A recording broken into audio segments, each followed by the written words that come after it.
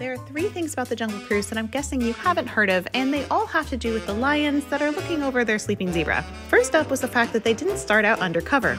In fact, they were just out in the open for many years, until 1976 when they reimagined the African Veldt. That's when they built this rock structure to better hide the surprise of the trap safari which is very much like its Florida counterpart in the Magic Kingdom. Next up is these lionesses sharing their dinner with Pride.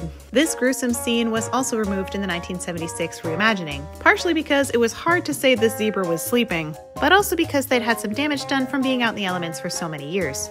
Lastly, we have to talk about something that Marc Davis wanted but never came to pass. When they were updating the Jungle Cruise, Marc Davis had this idea that they should put fences all along the outside of the attraction. In the fences, they would put some holes, and on the other side of the holes, when people would look through them, they would see a lion looking back at them.